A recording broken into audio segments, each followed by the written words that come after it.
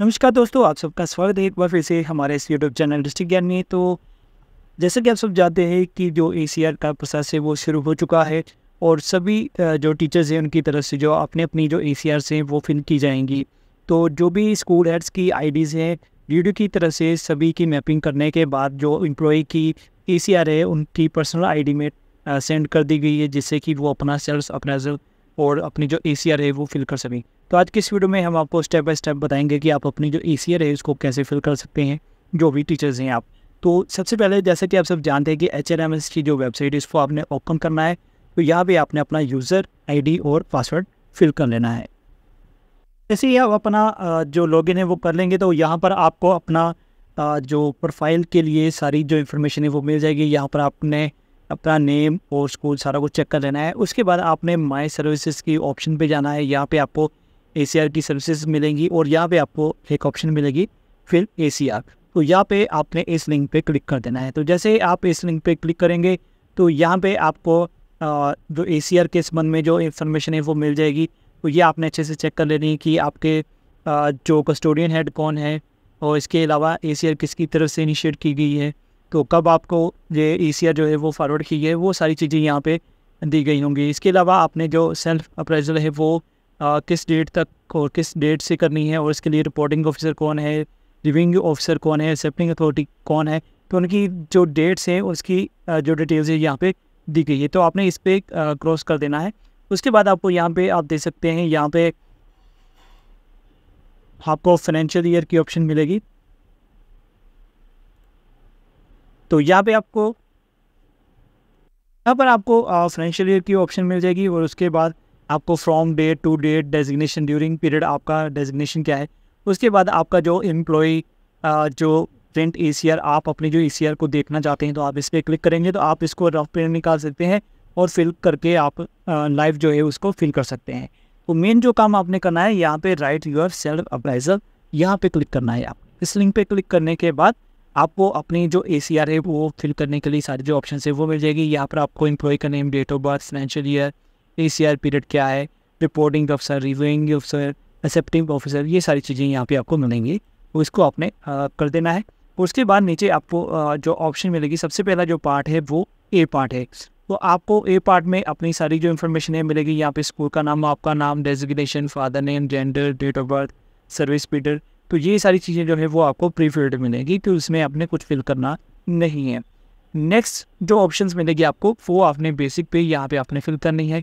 Service counter के हैं आपका elementary master P E S non teaching ये सारी इन्फॉर्मेशन आपने यहाँ पे फिल करना है। उसके बाद डेट ऑफ़ ज्वाइनिंग क्या है आपकी डिपार्टमेंट में? डेट ऑफ़ ज्वाइनिंग क्या है प्रेजेंट स्कूल में? लीव्स कितनी ली हैं आपने? कैजुअल लीव कितनी ली है? मेडिकल लीव कितनी ली है? अर्न लीव कितनी ली है? वो सारी आप यहाँ पे फिल करेंगे। नेक्स्ट पार्ट आता है बी पार्ट जो मेन इंपॉर्टेंट पार्ट है एशिया का। यहाँ पे आपके द्वारा जो भी सेशन के दौरान जो भी एक्टिविटीज़ करवाई गई हैं, जो भी आपने परफॉर्म किया है तो ये सारी चीज़ें आपने यहाँ पे फिल कर देनी है।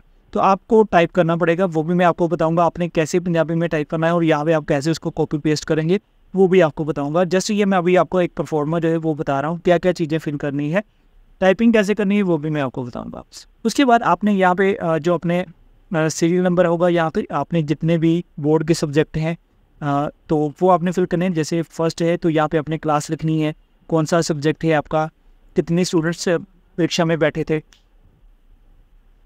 कितने नंबर जो स्टूडेंट्स हैं वो पास हुए हैं? कितने परसेंट है पास की? इसके अलावा बोर्ड की पास परसेंटेज क्या है? इंक्रीज़ डिक्रीज़ किया है? तो कितने स्टूडेंट जो है वो सिक्सटी परसेंट से अबव स्टूडेंट हैं? सेवेंटी फाइव परसेंट से अबव कितने स्टूडेंट्स हैं?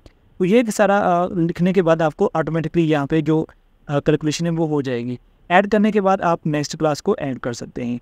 इसके अलावा आपने कोई एडिशनल वर्क किया है तो उसकी फ़ाइल को आप यहाँ पे अपलोड कर सकते हैं। तो स्पेशली यहाँ पे मेंशन किया गया है कि यहाँ पे जो आप कोई भी सिग्नेचर जो है वो अपलोड नहीं करेंगे। अगर किसी ने अपनी जो सिग्नेचर या फ़ोटो है अपडेट करनी है तो इस लिंक पे क्लिक करके आप कर सकते हैं।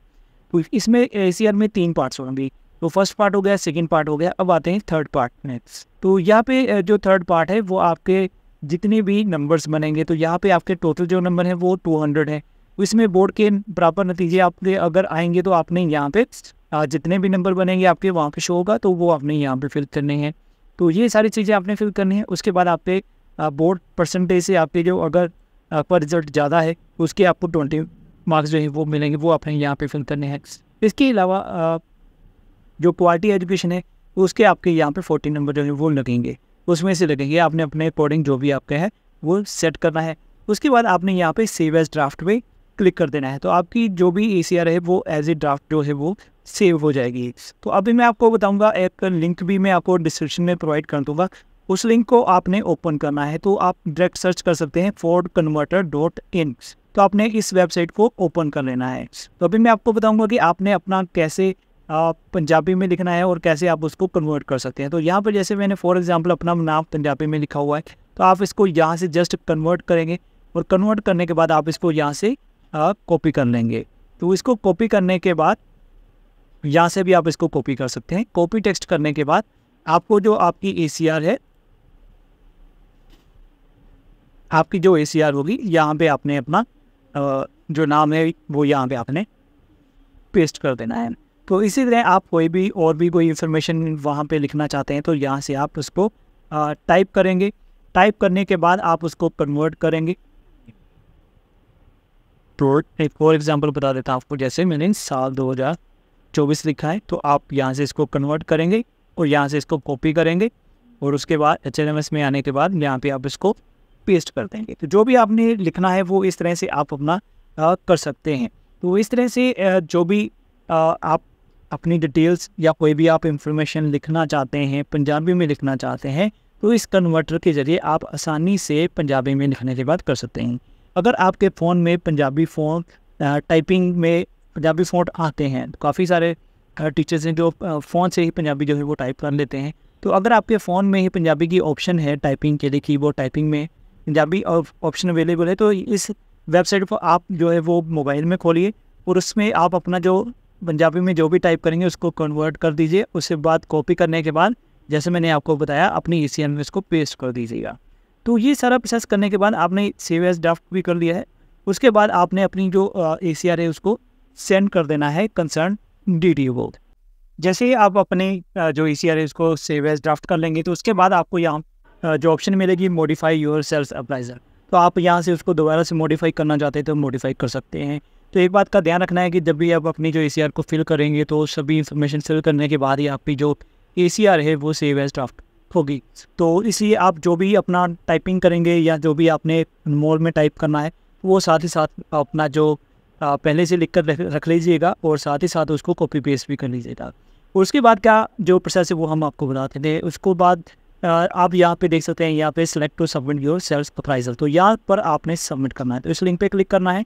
इस लिंक पे क्लिक करने के बाद आपको प्रीव्यू मिल जाएगा ड्राफ्ट ए का। तो इसको आप चेक कर सकते हैं डाउनलोड कर सकते हैं। सारी इन्फॉर्मेशन देखने के बाद आपको यहाँ पे एक चेक बॉक्स मिलेगा। उसको चेक बॉक्स को क्लिक करने के बाद आपको नीचे एक ऑप्शन मिलेगी क्लिक टू प्रोसीड तो आपको इस बटन पे क्लिक कर देना है।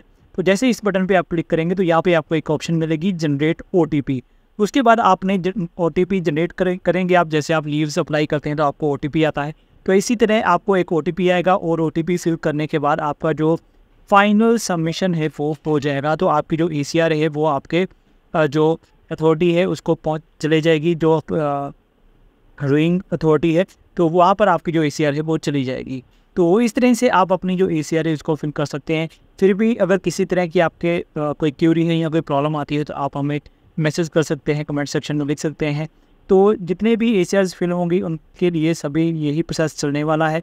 तो आपको जस्ट अपनी जो एसीआर है वो फिल करनी है सेवेस ड्राफ्ट करना है और उसके बाद फाइनल सबमिट कर देना है।